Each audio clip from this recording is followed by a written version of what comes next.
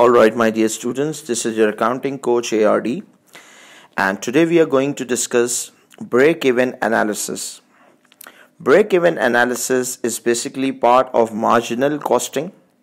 Marginal cost means variable cost or incremental cost, the additional cost that is incurred when making a single product of unit single unit of product or service this is marginal cost.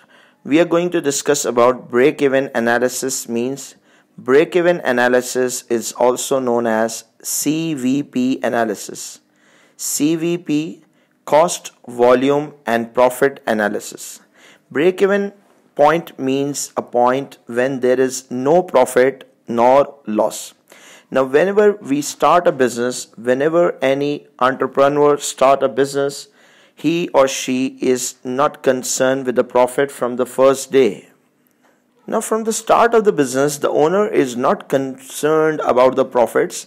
Firstly, the owner is concerned about breaking even. Breaking even means if we are not earning any profit from the business, at least we should not put money into the business on a daily basis. This means we want our business to survive uh, with itself. We want our business to stand on its own feet. So this is basically the concept behind break-even analysis.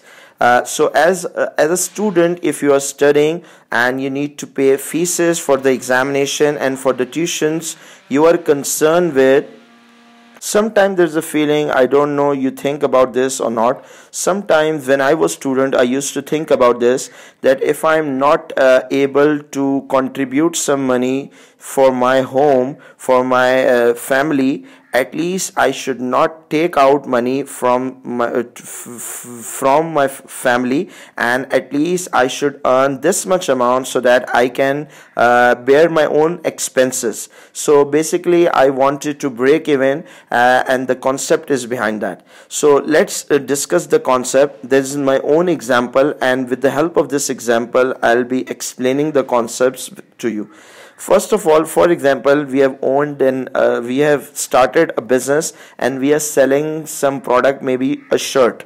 We are selling a dress shirt for $500 and that shirt that we are selling for 500 cost us 350 so we are buying shirts from some wholesaler or maybe uh, a small cottage industry or maybe some place and the shirt that we are buying in for 350 now if i deduct variable cost from the selling price i get some figure that is 150 now mm, few th people think that this figure is a profit uh, this is basically not a profit. Uh, if your friend says you are very lucky you are selling shirt for 500 and buying it for 350 you are earning straight profit on all, all the shirts that you sell that is 150 so you need to tell him you need to explain him that my dear uh, friend this is not profit. I also need to uh, bear the expenses of my shop that are the fixed cost for the shop so what you need to do this the amount that we have got this is known as a contribution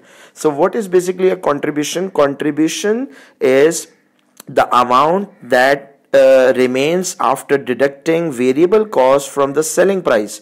Now the formula is selling price minus all variable cost is equal to contribution per unit. Contribution is basically a profit that is before deducting any fixed cost from the business. Uh, the full form for this contribution is contribution towards covering fixed costs and making a profit. This contribution uh, we will uh, use this contribution in two ways. First of all, we will be covering the fixed cost of the business. Uh, after we have covered all the fixed costs of the business, the contribution that remains with us is a profit. So we need to deduct the fixed cost for the business. For example, the shop that you have uh, opened for the outlet that you have opened for selling shirts. There is rent for that outlet. There is one salesman that you have uh, hired for selling the shirts. Then there is an electricity bill. Then there are taxes. And these are all fixed costs for the business. For example the fixed cost for the business is total $100000 for per month for example. $100000 fixed cost is there and we deducted uh, we need to divide with total units. For example we budgeted we estimated that we need to sell 1000 shirts in one month. We estimated that we'll be selling 1000 shirts in a month in order to get the fixed cost per shirt that is 100 so what we did, we need we divided 1000 shirts with the total fixed cost in order to get the fixed cost per unit. Now, uh, according to estimate, we'll be selling a shirt for 500, buying it for 350. We'll be uh, getting contribution of 150 after uh, deducting the fixed cost of $100. We'll be left with 50 and this the 50 is the actually profit per shirt, profit per unit. So now let's change the scenario a little bit scenario 2 for example we are selling the same shirt for 500 buying it for 350 again the contribution is 150 what happened? Uh, that after a month passed we came to realize that the amount of shirts that we estimated for selling a month is far more than the shirts we can actually sell. So for example, we overestimated the number of shirts and the new estimate is only 500 shirts can be sold in a uh, normal month. In an average month, only if we sell only 500 shirts, then the fixed cost per shirt would be 200. Now 1 lakh divided by 500 shirts that is 200. Now the contribution is still 150 but the fixed cost is increased uh, at that of $200. Now what remains $50 is a negative value. Now this is known as loss. Loss per shirt. Now uh, let's move to the third scenario. Again we are selling a shirt for 500 buying it for 350 uh, every shirt is contributing 150 towards covering fixed costs. And for example we are selling a certain amount of shirts and the fixed cost is exactly the same. For example that is 150 per shirt. Now the contribution and the fixed cost equates these are both the same values. And what we get is nil that is zero. And this zero means no profit no loss that is break even now this is basically the point when we are earning no profit no loss that is breaking even now, as a business owner, would you be interested to find out that how many shirts or how many units you need to sell in a given period, maybe month or quarter or an year in order to break even? Yes, because the first target for any business is basically breaking even. So break even analysis also known as CVP cost volume profit analysis uh, first of all, the formula for calculating break-even units. Formula is total fixed cost upon contribution per unit. Total fixed cost upon contribution per unit. Now let's apply this formula to our shirt business example. Now the total fixed cost is 100,000 for per month or per year, whatever it is. Now contribution per shirt, every shirt is contributing 150. Selling price minus all variable costs is equal to contribution per unit. Now if we divide 150 with 100,000 we get a figure of 666.666 so I rounded up it to 667 shirts. So if we sell 667 shirts in any given month we can easily break even. That is no profit no loss okay? So now let's verify this. Although we not need to verify this in an examination question for but just need to understand for the sake of understanding just let's let's make a small income statement. First of all starting with sales revenue. If we are selling 667 shirts and one shirt is sold for 500 the total revenue that we'll be getting is triple three five hundred. If we are buying 667 shirts and we bought one shirt for 350 the variable cost would be 233 then the contribution that we are getting is $100,000 that is contribution. Then if we deduct fixed costs from this contribution figure again our fixed cost is also 100,000 now there comes no profit no loss scenario. So we already calculated this 667 with this formula so 667 is basically the minimum amount of shirts that we need to sell in any given month in order to come to a no profit no loss scenario. Now what happens if we sell more than 667 shirt? If we sell for example 668 shirt, if we sell one more shirt than the break even, what happens? Our revenue increases by 500 the original revenue was triple three five hundred if we add one more shirt to this 500 dollar the revenue becomes 334000 Again, if we buy one more shirt, 233 plus 350, the variable cost becomes 233 850. Then the contribution was previously 1 lakh, now it is 1 lakh 150. Now, as you can clearly see, the contribution is increasing by $150. Then the fixed cost still remains at 100,000 Again, fixed cost is a cost that remains fixed no matter what is the volume of output. If the volume is increasing or the volume is decreasing, the fixed cost would remain fixed. Now the contribution is increased but the fixed cost still the same, then there is 150 profit. Now what happens? Every unit that is being sold after 667 is generating some contribution and that contribution is basically profit for the business. Okay any contribution after breaking even that is coming into the business is a profit for the business.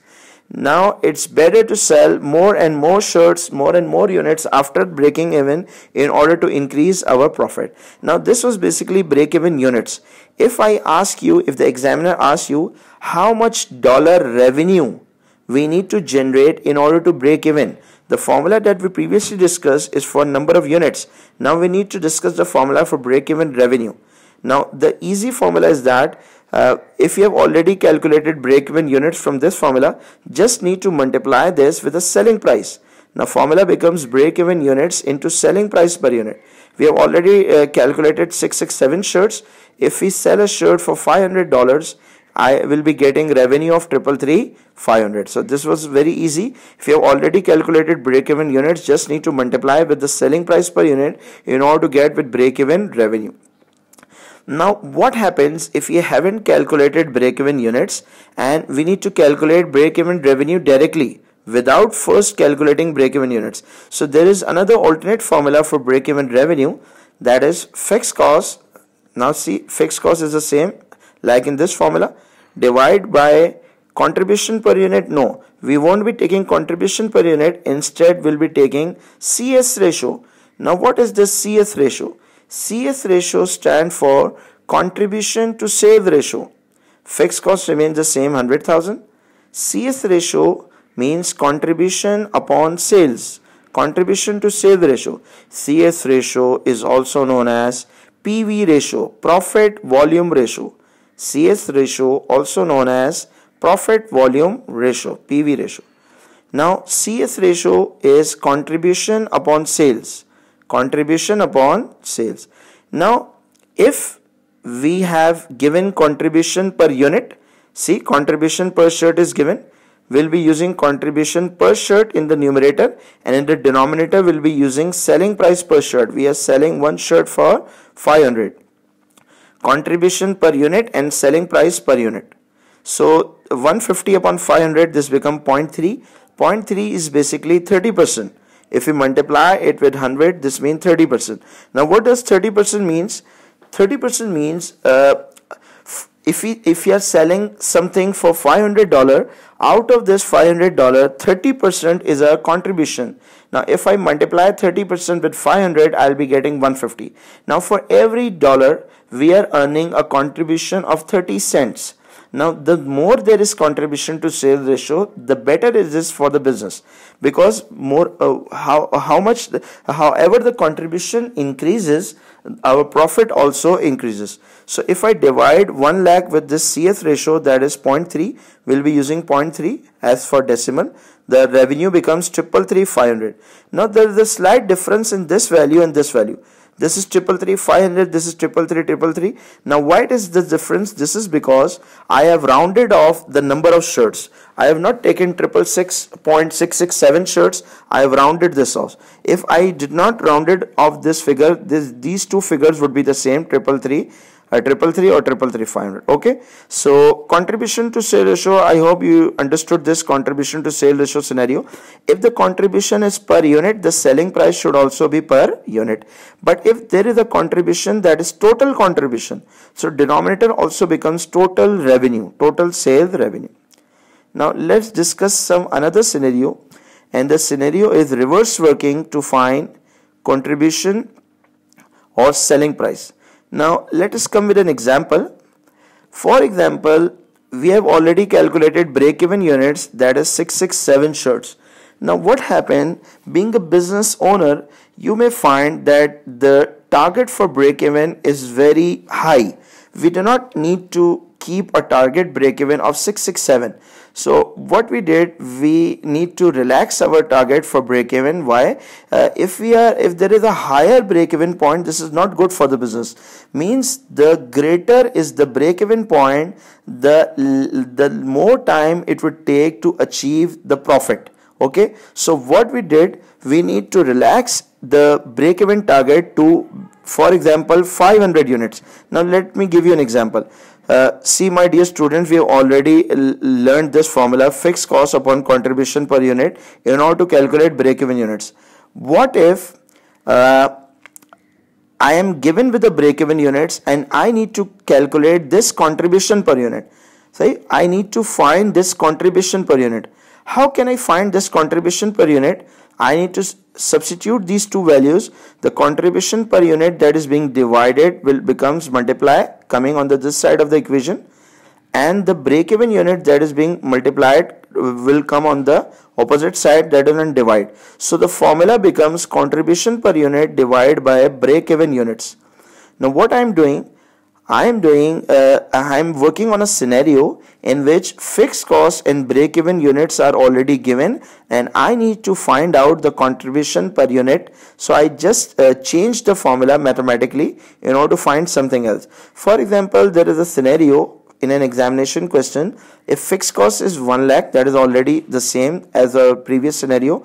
Variable cost per shirt is again the same, that is 350. We are buying one shirt for 350 then break even unit target is given 500 units. Means we are not uh, okay with 667 shirts break even target. We need to relax our target to 500 units. What i want i need to break even by selling 500 shirts only because after 500 whatever shirts i need to sell this becomes my profit okay? Break even units is already given. What we need to find we need to find the selling price to break even we need to find the selling price. Now this is the basically scenario that we need to work it on. Now let's move to the next slide. Uh, again the formula becomes contribution per unit up, upon, is equal to fixed cost upon break even units. This is the same formula we just substituted uh, break even units and contribution per unit. Now the fixed cost is 1 lakh. I need to cover 1 lakh for each month by selling how many shirts? By selling 500 shirts. Now if i need to cover 1 lakh contribution by selling 500 shirts, how much each shirt should contribute? 1 lakh divided by 500, each shirt should contribute now 200. Why? Because I need to sell fewer shirts and I still need to break even. So each shirt should contribute 200. Previously the answer was 150 if you remember. Now I need to earn a contribution of 200. Now what we need to find? We need to find the selling price if we can if we want to earn a contribution of 200 on each shirt now as you may be aware my dear students the formula for contribution per unit was selling price per unit minus variable cost per unit So if if if i want to uh, uh, calculate contribution uh, I need to deduct variable cost with the selling price. Now the selling price is not given. I need to find the selling price. If the selling price I need to find this, this is an X what we need to do this variable cost is deducting I need to add it uh, if it becomes on the opposite side of the equation okay? Now the formula becomes for selling price is equal to contribution per unit plus variable cost. This variable cost is deducted this comes becomes plus. So I need to earn a contribution of 200 on each shirt and I am buying this shirt for 350 again how much I need to sell a shirt for? I need to sell a shirt for 550 instead of 500 now my dear students if you want to earn profit earlier than 667 shirts and if you have a target that you need to sell only 500 uh, shirts in order to break even and after 500 501 shirt becomes your profit you need to sell each shirt for 550 now the selling price need to increase to 550 instead of 500 now i can also verify this just for the sake of understanding. Sale revenue if i'm selling 500 shirts each shirt is being sold for 550 i've increased my selling price the revenue becomes 275 if i'm buying these shirts from an outside supplier and again assuming there are no discounts and all this one shirt is bought for 350 the variable cost become 175 then the, the contribution of 1 lakh then fixed cost remains the same that is 1 lakh again again we get break even. No profit no loss. So i hope my dear students you understood this concept. Then we have some other concepts behind this and that is target profit. See whenever a business starts first of all he is more concerned with breaking even okay First of all, on the first day, we are not concerned, we are least bothered about the profits because profits is something that comes later on the stage. First of all, we are concerned with breaking even. Now whenever we uh, started business and the business starts running and we achieve our targets of break even the second thing that comes in the mind that is the profit. Because we are not an ngo we are not a not for profit organization. We have started the business finally to earn some business. Now it's the time we should start dreaming about we should start aiming about the profit for the business. And now comes the concept of target profit now my dear student, the formula that we uh, first of all studied for break even was fixed cost upon contribution per unit. This was the formula. Now in this fixed cost formula, I will need to add one more thing that is TP. TP stand for target profit. Now the question is that the previously it was break even units. If you are also earning some profit, now this is no longer the break even. This would become target units okay? If we need to calculate uh, if we need to calculate how many units to sell in order to earn this much uh, profit now this is the formula. Only thing that is changed that we have added target profit in the formula and this break even units become target units. Now let's continue with the original example not with the, this 550 example with the original example of selling a shirt for 500 for example our fixed cost for the business is 100000 and we uh, we discussed a target profit of 50000 we aimed for a target profit. This should be given in the question that we earn to uh, we need to earn a profit of 50000 for each month. Now again one shirt is contributing 150 now what we need to earn? We need to earn 1 lakh for covering fixed costs. We need to earn 50000 for covering our home expenses. That is a uh, profit. And we need to uh, earn a total 150,000 contribution. If each shirt is contributing 150 how many shirts I need to sell in order to earn a profit of uh, 50,000 there are 1000 shirts target. Means if I sell 1000 shirts in any given month I can also uh, also cover the expenses for running the business and I, can also withdraw 50,000 profit. I need to verify this figure just for the sake of curiosity if I'm selling 1000 shirts, each shirt is originally sold for 1000, the revenue becomes 500,000. Then uh, if I'm buying these 1000 shirts from a supplier again for 350, assume there are no discounts, the variable cost is 350, I am getting a contribution of 150 and if the fixed cost is less than the contribution, the difference is profit. Again, as you can see the target profit is achieved we can easily earn a profit figure of 50000 okay so if I am done with calculating target units, what if the examiner asks for target revenue? And now if you have already calculated the target units, what we need to do, we need to multiply the units with the selling price in order to calculate target revenue. So if I am selling 1000 shirts and one shirt is being sold for 500 the revenue that i need to earn is 500000 now see this is the 500000 already calculated now what if i need to calculate the target revenue but I haven't calculated the target units. There are no targets unit calculated but I need to calculate the revenue directly. So the formula becomes fixed cost divided by CS ratio already studied this formula in break even revenue. Well, we just need to add one thing that is target profit. Okay, target revenue. This becomes target revenue.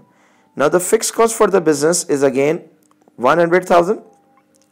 We need to earn target profit of 50,000 which is given in the question and the CS ratio we have already calculated as 0.3.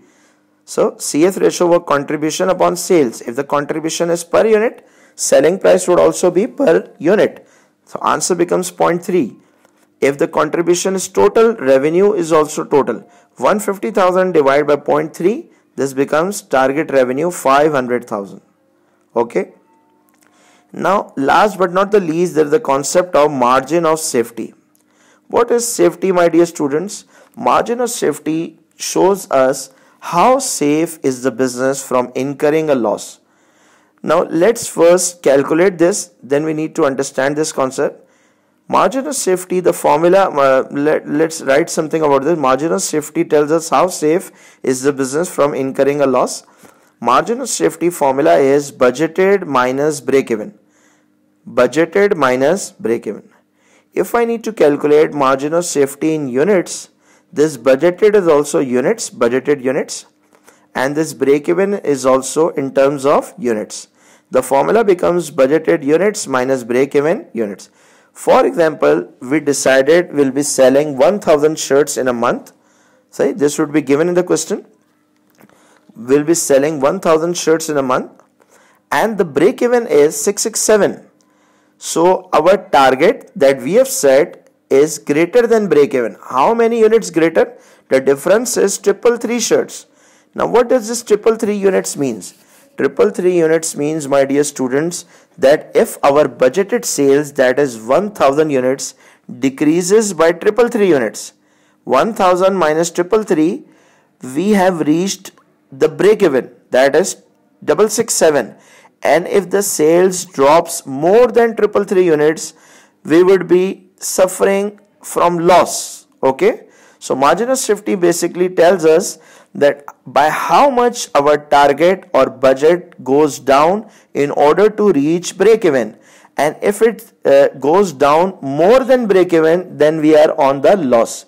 Now the safety uh, how much safety the greater is the safety there is better. It is better okay? So the more the margin of safety the it is better for the business. Now previously we calculated margin of safety in terms of units. Now we need to calculate in terms of revenue. So this budget units becomes budgeted revenue and this break even units also becomes break even revenue. Now these are both revenue instead of units.